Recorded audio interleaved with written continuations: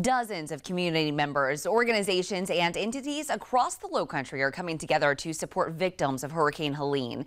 Today, this included Holy City Brewing, where employees spent the morning canning water instead of brew to send to North Carolina. Meredith Blair has the story.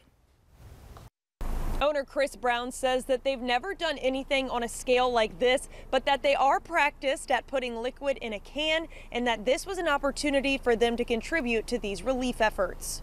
250 cases of water are headed to a church in Tryon, North Carolina that will be a distribution hub for those in need. The idea to can water came from Firefly across the street from the brewery and Brown and his crew made it happen. He hopes the water can help people in a small way. After seeing what happened up there, the you know the devastation and just the people that are displaced, and just you know we, we had to do something to help out. Um, and, and, again, we've got a lot of there's about 100 Holy City employees, um, and throughout our extended family, there was a lot of people we knew that were impacted, and we just wanted to find a way that we could do something, and this was a way that we could directly help. Now those cans are currently en route as they were shipped out earlier this afternoon. And Brown says that he even put in an order for extra cans so that they can do the same thing come next week.